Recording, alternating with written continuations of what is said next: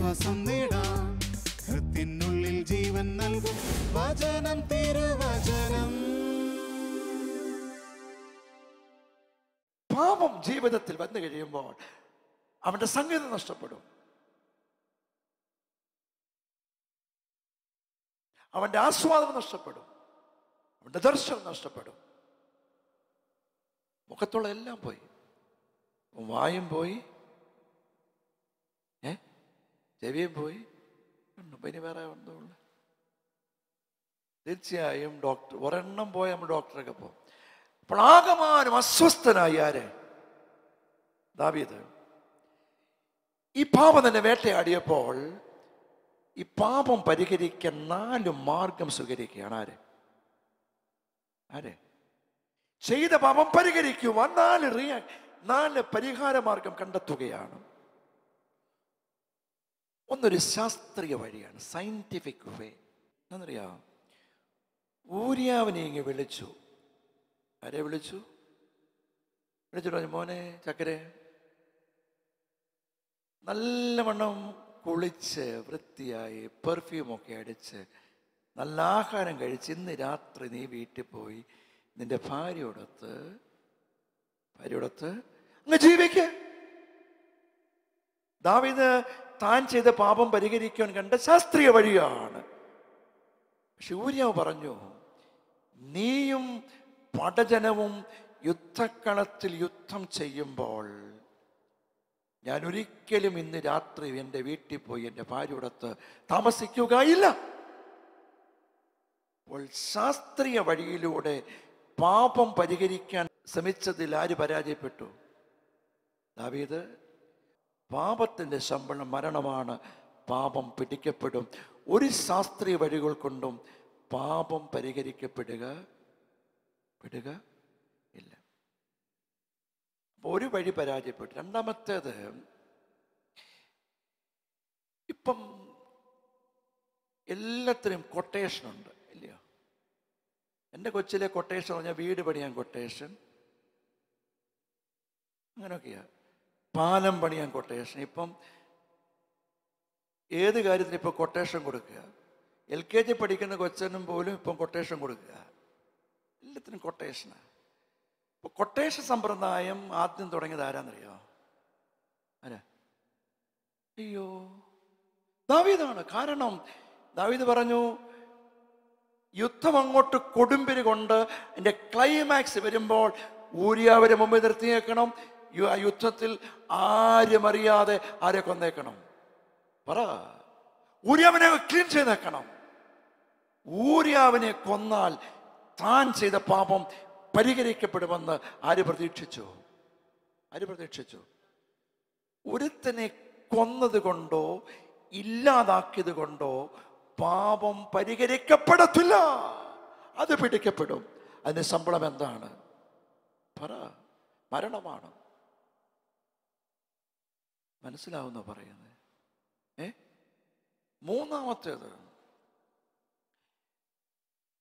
നമ്മൾ ചെയ്യുന്ന മാർഗമാണ്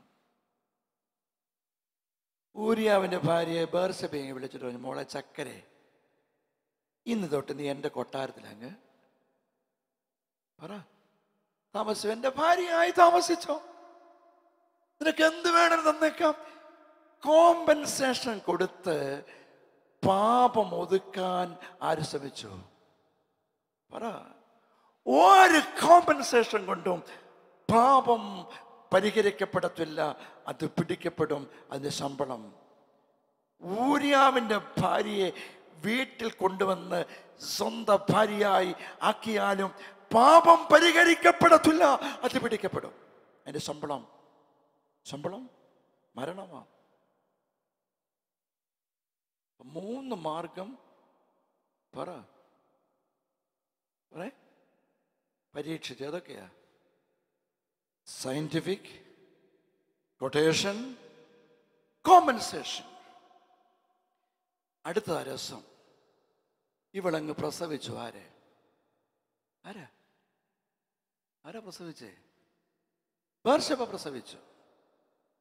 നോർമൽ പ്രസവം നടക്കണമെങ്കിൽ ഒമ്പത് മാസമൊക്കെ കഴിയണം പത്ത് മാസം വേണ്ട അപ്പോൾ ഈ സംഭവം നടന്നിട്ട് എത്ര മാസമായി? അയ്യോടാ. പാപം ചെയ്തിട്ട് എത്ര മാസമായി? ഏകദേശം പത്ത് മാസമായി. ഒരു പുതിയ ന്യൂസ് വരുമ്പോൾ പഴയത്? ഔട്ട്ഡേറ്റഡ് ആയി. ഈ പാവപ്പെട്ട ദാവിത ചിന്തിച്ചു ഇതൊക്കെ ചെയ്തിട്ട് പത്ത് മാസമായില്ലയോ? ഇവൾ പ്രസവിക്കുകയും ചെയ്തു. കൊച്ചി ഇരുപത്തെട്ട് കെട്ടി കിടക്കുകയുമാ അല്ലേ കാലപ്പഴക്കം കൊണ്ട് താൻ ചെയ്ത പാപം പരിഹരിക്കപ്പെടും എന്ന് ആര് പ്രതീക്ഷിച്ചു? പിടികിട്ടുന്നുണ്ടോ? കാലപ്പഴക്കം കൊണ്ട് താൻ ചെയ്ത പാപം പരിഹരിക്കപ്പെടുമെന്ന് ആര് പ്രതീക്ഷിച്ചു? അവർ പ്രതീക്ഷിച്ചു. അപ്പോഴാണ് കൊച്ചുവെളുപ്പാൻ കാലത്ത് മോർണിംഗ് വാക്കിൽ ഇറങ്ങിയ നാഥാൻ പ്രവാചകൻ. അന്നൊന്ന് കയറി കൊട്ടാരത്തിൽ കയറി ഒരു കടുങ്കാപ്പിയൊക്കെ കുടിക്കാമെന്ന് കണ്ട് കൊട്ടാരത്തിൽ ചെല്ലുമ്പോൾ പാളയ്ക്കകത്ത് പാള എന്ന് പറഞ്ഞ സാധനമുണ്ട് കേട്ടോ. കമയെന്ന് വീഴുന്നൊരു സാധനമാണ്. അതേലേ നല്ല വെളിച്ചെണ്ണയൊക്കെ പുരട്ടി ഈ കുഞ്ഞിങ്ങനെ കിടക്കുക. കടുങ്കാപ്പിയൊക്കെ കുടിച്ച് ചെന്ന് നാഥൻ പ്രവാചകൻ നാഥാൻ പ്രവചന കാര്യം മനസ്സിലായി? കിടക്കുന്നത് കിടക്കുന്നത് കിടക്കുന്നത്. മനസ്സിലായില്ല? ഇപ്പോൾ എന്നെ കൊണ്ട് പറയിക്കല്ലേ? എന്നിട്ട് നല്ലൊരു കഥ അങ്ങോട്ട് ഇട്ട് കൊടുത്തു. ആടിന്റെയും എത്തില്ലയോ വീട്ടിൽ അതിഥി വന്നു അയലൊക്കെ ഇത് കേട്ടപ്പോഴത്തേക്ക് ഇവൻ അങ്ങ് ചൂടാകുകയാണ്. ആര്. അങ്ങനെ നമുക്ക് വല്ലവന്റെയും കുറ്റം കേൾക്കുമ്പോൾ നമ്മൾ അങ്ങനല്ലേ? വേറൊരാളുടെ കുറ്റം കേൾക്കുമ്പോൾ നമ്മൾ അങ്ങ് ഇറിറ്റേറ്റഡ് ആകും. ഇറിറ്റേറ്റഡ് അപ്പോഴാണ് ചോദിച്ചത് ഇത് ആരാ ചെയ്തത്? പിന്നെ നാഥൻ പ്രവാചകൻ വിരൽ ചൂണ്ടി പറഞ്ഞു പറ ആ മനുഷ്യൻ നീ തന്നെയാ. അപ്പോഴാ മനസ്സിലായത് പാപം പറ പാപം പിടിക്കപ്പെടും. എത്ര വർഷമായാലും ദൈവത്തിന് മുമ്പിൽ നീ പിടിക്കപ്പെടും. നീ ചെയ്ത പാപം. അവിടെയാണ് ദാവീദിനെ വ്യത്യസ്തനാക്കുന്നത്. പാപം പിടിക്കപ്പെട്ട് കഴിഞ്ഞപ്പോൾ സൂയിസൈഡ് ചെയ്യാൻ പോയില്ല ആര്? ഏ? പോയോ? ഇല്ല. ഒളിച്ചോടിയും പോയില്ല. പോയോ? ഏകാന്തര തുരുത്ത് തേടിയും പോയില്ല. മറിച്ച് പാപം പിടിക്കപ്പെട്ട് കഴിഞ്ഞപ്പോൾ ദൈവത്തിന് മുമ്പിൽ നെടുമ്പാട് വീഴുകയാണ് ആര്? ഇത് പറഞ്ഞു നിന്നോട് നിന്നോട് തന്നെ ഞാൻ. അങ്ങനല്ലേ അമ്പത്തൊന്നാം സങ്കീർത്തനം? ദൈവമേ നിന്നോട് നിന്നോട് തന്നെ ഞാൻ പാപം ചെയ്തിരിക്കുന്നു. നിന്നോട് ഞാൻ പാപം ചെയ്തു. ദൈവസന്നതയിൽ തന്റെ പാപം തന്റെ കുറ്റം ആരിറക്കി വെച്ചു? ആരിറക്കി വെച്ചു? ഇറക്കി വെച്ചു. അമ്പത്തൊന്നാം സംഗീതത്തിന് ശേഷം വരേണ്ടതാണ് മുപ്പത്തിരണ്ടാം സങ്കീർത്തനം. പക്ഷെ മുപ്പത്തിരണ്ട് ആദ്യം മുപ്പത്തിരണ്ട് കഴിഞ്ഞിട്ടില്ല അമ്പത്തൊന്ന്. പക്ഷേ അമ്പത്തി ഒന്ന് കഴിഞ്ഞിട്ട് വരേണ്ടതാണ് എത്ര സങ്കീർത്തനം? മുപ്പത്തിരണ്ടാം സങ്കീർത്തനം തുടങ്ങുമ്പോൾ ആരാണ് അനുഗ്രഹിക്കപ്പെട്ടവൻ? ആരാണ് അനുഗ്രഹിക്കപ്പെട്ടവൻ? ലംഘനം ക്ഷമിച്ചും പാപം പൊറത്തും കിട്ടിയ മനുഷ്യനെ നീയാണ് പറ. നീയാണ് അനുഗ്രഹിക്കപ്പെട്ടത്. നീയാണ് ഭാഗ്യവാൻ. ഇംഗ്ലീഷിൽ ബ്ലസ്സഡ് എന്ന. ബ്ലസ്സഡ് ബ്ലസ്സഡ് ഭാഗ്യവാൻ എന്നല്ല മറിച്ച് അനുഗ്രഹിക്കപ്പെട്ടവൻ. അനുഗ്രഹിക്കപ്പെടുന്നവൻ ആരാ? പാപത്തിന്റെ കുറ്റം ക്ഷമിച്ചു കിട്ടുന്നവനാണ് ആര്? അനുഗ്രഹിക്കപ്പെട്ടവൻ.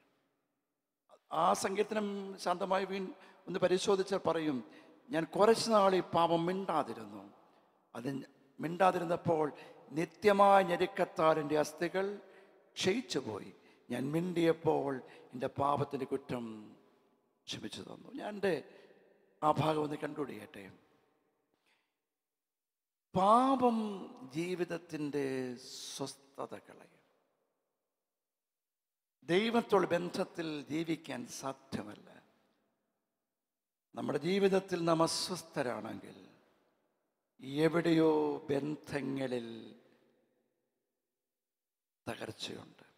ബന്ധങ്ങളിൽ തകർച്ചയുള്ളവന്റെ ജീവിതത്തിൽ ഒരിക്കലും എന്തില്ല? സ്വസ്ഥതയും സമാധാനവും ഇല്ല. നാം ജീവിതത്തിൽ സ്വസ്ഥതയും സമാധാനവും ആന്തരിക സൗഖ്യം അനുഭവിക്കണമെങ്കിൽ മനുഷ്യരുടെ ബന്ധത്തിലും ദൈവത്തോടെ ബന്ധത്തിലും നമ്മുടെ ബന്ധങ്ങൾ പുനർക്രമീകരിക്കണം സൃഷ്ടിക്കപ്പെടണം. അതുകൊണ്ടാണ് പരിശുദ്ധ വേദപുസ്തകം പറയുന്നത് നാം വാസ്തവമായി നമ്മുടെ പാപങ്ങളെ ഏറ്റുപറയുന്നെങ്കിൽ നമ്മുടെ പാപം ക്ഷമിപ്പാൻ തക്കവണ്ണം നമ്മുടെ കർത്താവ് വിശ്വസ്തനും വിശ്വസ്തനും നീതിമാനുമാണ്. നിങ്ങളോട് എനിക്കും പറയാറുള്ളത് നാം ശാന്തമായി നമ്മുടെ റൂമുകളിൽ പോയി ഒന്ന് ധ്യാനിക്കണം. എന്റെ ദൈവമേ എന്റെ സഹോദരനോട് ബന്ധത്തിൽ സഹോദരിയുടെ ബന്ധത്തിൽ എന്റെ സഹപ്രവർത്തയുടെ ബന്ധത്തിൽ എവിടെയെങ്കിലും വിള്ളലുകളുണ്ടോ? നീയുമായുള്ള ബന്ധത്തിൽ എനിക്ക് വിള്ളലുകൾ സംഭവിച്ചിട്ടുണ്ടോ? ഉണ്ടെങ്കിൽ സംഗീതക്കാർ പറയുന്നു വ്യസനത്തിന് മാർഗം എന്നിലുണ്ടെന്ന് നോക്കി ശാശ്വതമായ മാർഗത്തിൽ തന്നെ നീ നടത്തണമേ. അപ്പോൾ ബന്ധങ്ങളിൽ വിള്ളലുകൾ ഉണ്ടെങ്കിൽ ഒരിക്കലും എന്തനുഭവിക്കാൻ സാധ്യമല്ല. സമാധാനം അനുഭവിക്കുവാൻ സാധ്യം സാധ്യം അല്ല. അതുകൊണ്ടാണ് പൗലോസ് അപ്പോസ്തലൻ പറയുന്നത് സമാധാനം വേണമോ? ക്രിസ്തുവിൽ ഏകചിന്തയോട് ഇരുപ്പാൻ ഞാൻ യുവോദ്യയെയും സുന്ദുകിയെയും പ്രബോധിപ്പിക്കുന്നു. രണ്ട് സമാധാനം കളയുന്ന രണ്ടാമത്തെ കാര്യം ഫിലിപ്പി ലേഖനം നാലാം അധ്യായത്തിന്റെ ആറാമത്തെ വാക്യം നാലിന്റെ ആറ്. ഒന്നിനെക്കുറിച്ചും എന്താ? ആകുലരാകരുത്. നമ്മുടെ ജീവിതത്തിന്റെ സ്വസ്ഥത കളയുന്ന രണ്ടാമത്തെ കാര്യം അവിടെ പറഞ്ഞിട്ടുണ്ട്. എന്താണ്? ആകുല പറഞ്ഞു? ആകുല ചിന്തകൾ. ആകുല ചിന്തകൾ ജീവിതത്തിന്റെ സ്വസ്ഥതയും സമാധാനവും ഏ? പറഞ്ഞേ? നഷ്ടപ്പെടുത്തും. ഞാൻ പറ ഒന്നുകൂടെ വിശദീകരിച്ച് പറയാം. നാളത്തെക്കുറിച്ചുള്ള ആകുല ചിന്തകൾ ഇന്നിന്റെ സ്വസ്ഥത? ഇന്നിന്റെ സ്വസ്ഥതകളെ എന്റെ അനുഭവത്തിൽ നിന്ന് ഞാൻ അവിടെ പറയാൻ ആഗ്രഹിക്കുകയാണ്. രണ്ടായിരത്തി ഒന്നിലാണ് രണ്ടായിരത്തി ഒന്ന് മെയ് മാസത്തിൽ മർത്തമാ സഭ എന്നെ അമേരിക്കൻ ഭദ്രാസനത്തിലുള്ള ഫിലദൽഫിയ ബഥേൽ വികാരിയായി നിയമിച്ചയക്കുന്നത്. ഞാൻ മെയ് മാസം മൂന്നാം തീയതി അമേരിക്കൻ ഐക്യനാട്ടിൽ ഈ ഇടവകയുടെ ചുമതലക്കാരനായി ചുമതലയേറ്റു. മെയ് മാസം മൂന്നിന്. അതേ വർഷം ജൂലൈ മാസം എട്ടാം തീയതി ന്യൂയോർക്കിൽ നടന്ന ഒരു ഭവന പ്രതിഷ്ഠ ഹൗസ് വാമിങ് കഴിഞ്ഞ് മടങ്ങി വരുന്ന വഴി എന്റെ വാഹനം ഓടിച്ചിരുന്ന കാർ ഡ്രൈവർ എന്റെ ഇടവക്കാരനാണ്. അത് ഒന്നും നോക്കാതെ ഒരു യു ടേൺ എടുത്തു. ആ യു ടേൺ എടുക്കുമ്പോൾ പുറകിൽ നിന്നൊരു പിക്കപ്പ് വാൻ വന്ന് ഞാൻ സഞ്ചരിച്ച വാഹനത്തിൽ ഇടിച്ചു. ഈ വാഹനം പലതവണ കരണം പറഞ്ഞു ഞാൻ രണ്ട് സീറ്റിനകത്ത് ജാമായി പോയി. എന്നെ വാഹനത്തിൽ നിന്ന് പുറത്തെടുക്കുമ്പോൾ എന്റെ നട്ടലിന് കാര്യമായി ക്ഷത സംഭവിച്ചു. എന്റെ സുഷുവിന കണ്ടത്തിന് കേടുപറ്റി. ഈ രാത്രി പതിനൊന്നര മണിയായപ്പോൾ ഞാൻ നല്ല ഉറക്കത്തിലായിരുന്നു. ഉറക്കത്തിലൂടെ ഞാൻ അബോധാവസ്ഥയിലേക്ക് മാറി. അബോധാവസ്ഥയിലായി. കോമ സ്റ്റേജിലെത്തി. ഞാൻ കണ്ണ് കണ്ണടച്ചു കണ്ണ് അടഞ്ഞു. എന്നെ ഈ കാറിൽ നിന്ന് വലിച്ച് പുറത്തെടുത്ത്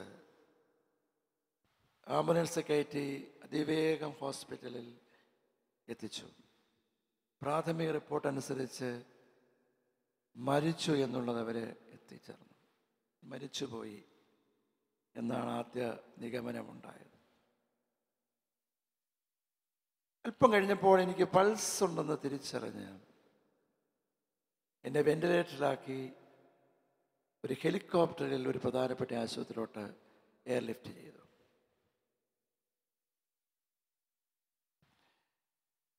പിന്നീട് ഞാനും വെന്റിലേറ്ററുമായി മരണത്തോടുള്ള മരണത്തോടുള്ള മരണത്തോടുള്ള വെല്ലുവിളിയും കളികളുമായിരുന്നു.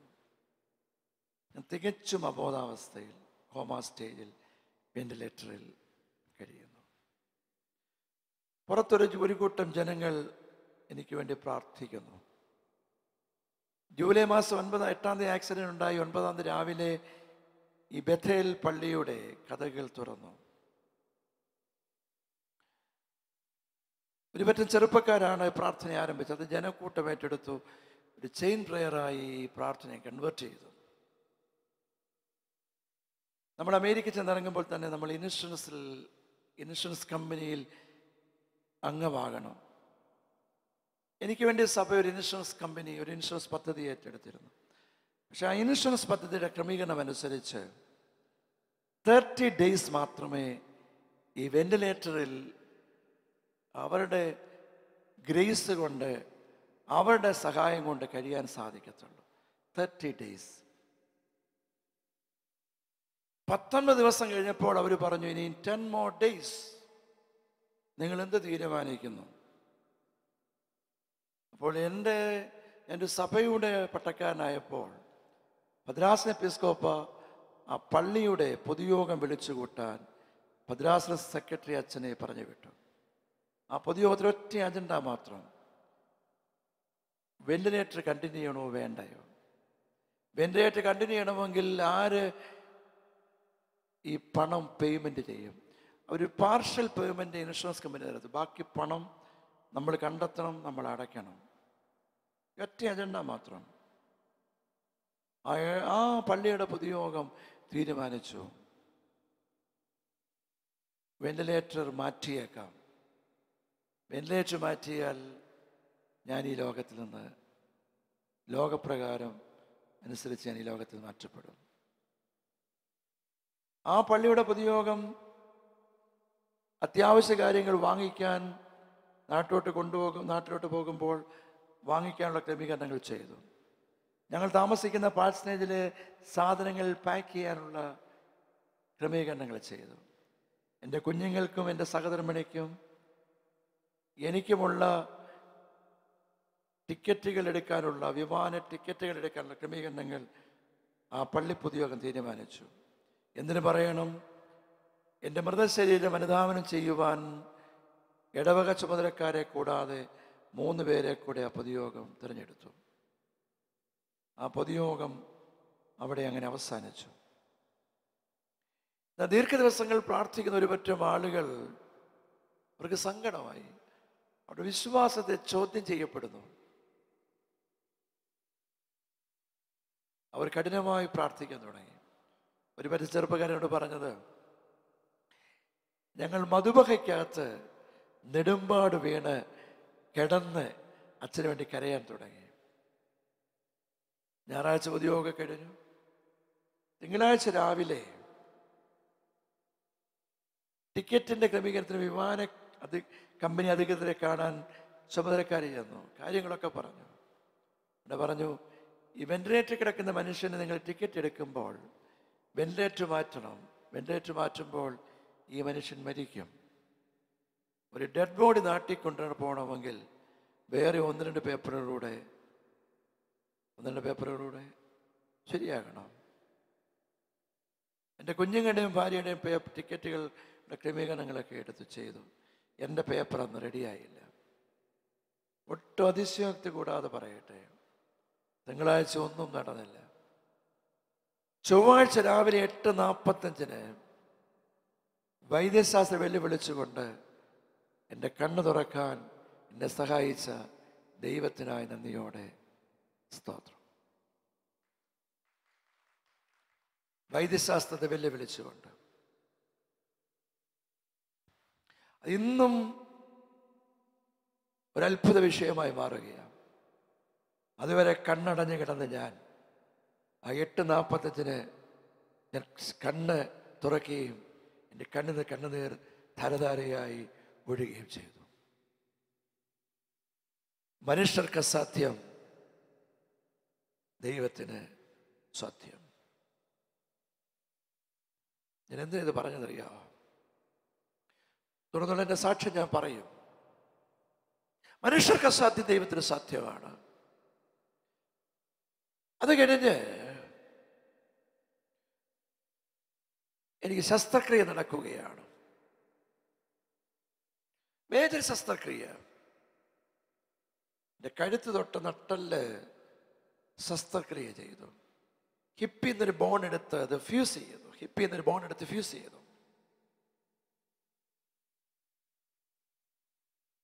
നട്ടിൽ രണ്ട് സൈഡിലും സ്റ്റീലോട് ഇട്ടിരിക്കുന്ന ഒരു മനുഷ്യനാണ് നിങ്ങളുടെ മുമ്പിൽ ഇരിക്കുന്നത്. നട്ടിൽ രണ്ട് സൈഡിലും. എനിക്ക് ചലനശക്തി ഉള്ളത് ഈ നെഞ്ചിന് മുകൾ ഭാഗത്തോട്ടേ ഉള്ളൂ. താഴോട്ടില്ല ചലനശക്തി sense I don't have any sensation below the chest level operation കഴിഞ്ഞ് എന്നെ ഒരു ബ്രേസിനകത്തിട്ടു ഒരു ബ്രേസ് അടിവയറ് തൊട്ട് ചെവി കാണാം കണ്ണ് കാണാം. തലയുടെ ഇവിടെ വന്നിട്ടാണത് അതിന്റെ ബാക്ക് ക്രസ്റ്റ് നടക്കുന്നത്. അടി തൊട്ട് ഫ്രണ്ടും ബാക്കും ഒരുപോലെ. അതിലൊരു മുപ്പത്തിമൂന്ന് ദിവസം ആ ബ്രേസിനകത്ത് ഞാൻ കഴിഞ്ഞു. തേർട്ടി ത്രീ ഡേയ്സ് എന്റെ പുസ്തകത്തിൽ ഞാൻ എഴുതിയിട്ടുണ്ട്. ഒരു പ്രത്യേക ആംഗിളിൽ മാത്രമേ ആ സമയത്ത് കിടക്കാൻ ഇരിക്കാനും സാധിക്കത്തുള്ളൂ. അപ്പൊ എന്റെ എനിക്കപ്പോൾ ബോധമൊക്കെ തെളിഞ്ഞു. അപ്പോൾ എന്റെ ചിന്ത ഈ ബ്രേസ് മാറ്റി ഏ? എല്ലാം ശരിയാവും. ആരും എന്നോട് പറയുന്നില്ല എന്റെ ചിന്ത ബ്രേസ് ഒക്കെ മാറ്റി. നമ്മളങ്ങനെയല്ലേ പ്ലാസ്റ്റർ എടുത്ത് കഴിയുമ്പോൾ എല്ലാം നമ്മൾ പൊട്ടനായി പോയി. പ്ലാസ്റ്റർ എടുക്കുമ്പോൾ എല്ലാം എല്ലാം ശരിയാകും. മുപ്പത്തിമൂന്ന് ദിവസം കഴിഞ്ഞ് ഈ ബ്രേസ് എടുത്തു മാറ്റിയ ഒരു ദിവസമുണ്ട് എനിക്കൊരിക്കലും മറക്കാനാവാത്തൊരു ദിവസം. ഒരു ടീം ഓഫ് ഡോക്ടേഴ്സാണ് വരുന്നത്.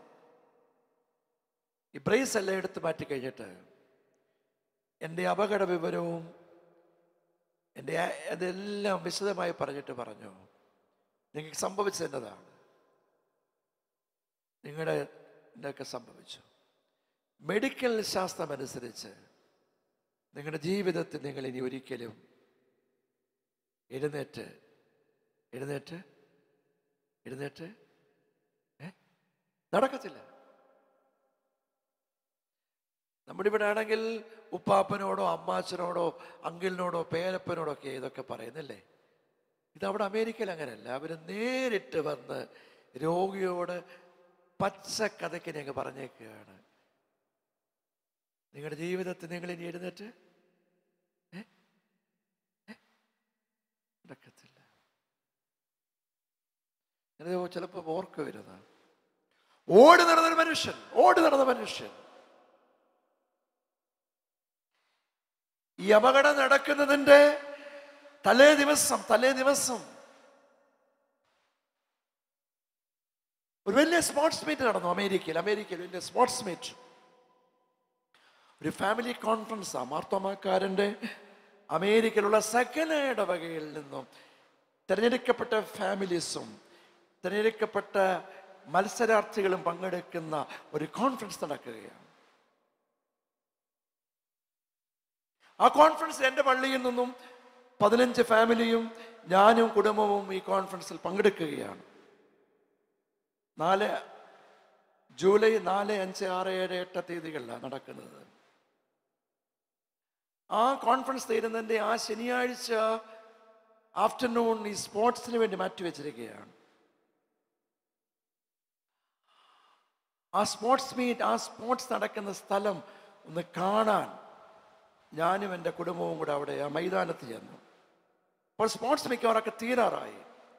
ആ സ്പോർട്സിന്റെ അവസാനത്തെ ഇനമാണ് relay four hundred into four hundred റിലേയും നൂറ് മീറ്റർ ഓട്ടോ. ഞാൻ ആ ആ കോമ്പൗണ്ടിൽ ചെന്നു. അപ്പം ഞങ്ങളുടെ പ്രിയപ്പെട്ട അച്ഛന്മാരൊക്കെ നിക്കറുമൊക്കെ ഇട്ട് നൂറ് മീറ്റർ ഓട്ടത്തിൽ ഇങ്ങനെ വാമപ്പ് ചെയ്ത് നിൽക്കുകയാണ്. അപ്പൊ എനിക്കും കൊച്ചൊരു മോഹം. നിറങ്ങി ഓടിയാൽ ഓടിയാൽ കൊള്ളാമത് കൊച്ചു മോഹം. അപ്പൊ എനിക്കൊരു പ്രശ്നം എനിക്ക് നിക്കറില്ല. ഇവർ നിക്കറും ഒക്കെ ഇട്ട് റെഡിയായിട്ട് നിൽക്കുകയാണ് ഓടാൻ. അല്ല അങ്ങോട്ടും ഇങ്ങോട്ടും ഗ്രൗണ്ടിൽ ഓടി ചൂടായി നിൽക്കുകയാണ്. അവർക്ക് സ്പൈക്സ് ഉണ്ട് ഷോക്സ് ഉണ്ട്. ഈ സാമാനമൊന്നും എനിക്കില്ല.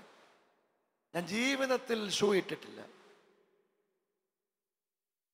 അപ്പൊ എനിക്കൊന്ന് ഇറങ്ങി ഓടാനും മോഹം വന്നപ്പോഴും എന്റെ ഭാര്യ പറഞ്ഞു എടോ മനുഷ്യ നാണം കേടാ. തോറ്റ നാണം കേടാ. അപ്പൊ ഞങ്ങളുടെ പള്ളിക്കാർ പറഞ്ഞു അച്ഛ ഇറങ്ങി ഓടല്ല നാണം കേടാ. ഞങ്ങളുടെ പള്ളിക്ക് നാണം കേടാ. എന്തായാലും ഞാൻ ചിന്തിച്ചു നാണം കേടായാലും ഞങ്ങളുടെ പള്ളിക്കാരുടെയും ഞങ്ങളുടെ സഭയുടെ മുമ്പിലല്ലയോ? അതുകൊണ്ട് ഞാൻ ഈ കുപ്പായം ഊരി എന്റെ സഹധർമ്മിണി ഏൽപ്പിച്ചു. സഹധർമ്മിണി ഏൽപ്പിച്ചു. എന്നിട്ട് പാന്റെ ചുരുട്ടി അങ്ങ് കയറ്റി അപ്പോൾ പാന്റെ എന്തായി മാറി? അയ്യോടാ. ഒന്നാം തന്നെ ബർമുടയായി മാറി നിക്കറായി മാറി. അപ്പോഴെനിക്ക് പ്രശ്നം വീണ്ടും എന്തോ ഇല്ല. ഷൂ സോക്സ് ഒന്നും ഇല്ല. ഞാൻ അതിന് പോയില്ല. കടമെടുക്കണ്ടെന്ന് വിചാരിച്ചു. ബാറ്റയുടെ ചെരുപ്പാണ് അത് അങ്ങോട്ട് ഊരി ഒരു മൂലയ്ക്കോട്ട് ഇട്ടു. ഇവിടുത്തെ പോലെ വൺ ടു ത്രീ ഒന്നുമല്ല പടക്കം പൊട്ടിക്കുക ഓടുക. ഞാൻ ഇറങ്ങി നിന്നു. പടക്കം പൊട്ടി ഓടി. ഹീറ്റ്സിൽ ഒന്നാം സ്ഥാനം. ഫൈനൽ റൗണ്ടിൽ ഒന്നാം സ്ഥാനം. ഏറ്റവും വേഗത കൂടിയ ഓട്ടക്കാരൻ. ഏറ്റവും വേഗത കൂടി ഓട്ടക്കാരൻ ജൂലൈ മാസം എട്ടാം തീയതി ഞായറാഴ്ച രാവിലെ നടന്ന കുർബാനയ്ക്ക് ശേഷം നടന്ന പൊതുസമ്മേളനത്തിൽ മാർക്ക് സോസ്റ്റം മാർത്തോമാ വലിയ തിരുമേനി എന്റെ കഴുത്തിൽ ഒരു ഗോൾഡ് മെഡൽ അണിയിച്ചു. ഏറ്റവും വേഗത കൂടിയ വേഗത കൂടിയ ഏ? ഓട്ടക്കാരൻ ഈ ഗോൾഡ് മെഡലായി തന്നത് എന്നാണെന്നറിയാമോ liberty ബെല്ലാണ്. Liberty bell. Liberty bell അറിയാമോ? അറിയോ അതിന്റെ പ്രത്യേകത? ലിബർട്ടി ബില്ലിന്റെ പ്രത്യേകത അറിയാമോ അമേരിക്കൻ സ്വാതന്ത്ര്യ സമരവുമായി ഏറെ ബന്ധമുള്ളതാണ് ഈ ലിബർട്ടി ബെൽ അമേരിക്കൻ സ്വാതന്ത്ര്യ സമരവുമായി ഫ്രഞ്ച് സമരത്തിന്റെ മുദ്രാവാക്യം ഫെറ്റേണിറ്റി ലിബർട്ടി അതല്ല ഇത്. ലിബർട്ടി ബെൽ അമേരിക്കൻ സ്വാതന്ത്ര്യ സമരവുമായി ബന്ധമുള്ളതാണ്. ബ്രിട്ടീഷുകാരിൽ നിന്ന് അമേരിക്ക സ്വതന്ത്രമായെന്ന് കണ്ടപ്പോൾ ഒരുപറ്റം ആളുകൾ ചെന്ന് ഒരു മണി അടിച്ചങ്ങ് പൊട്ടിച്ചു.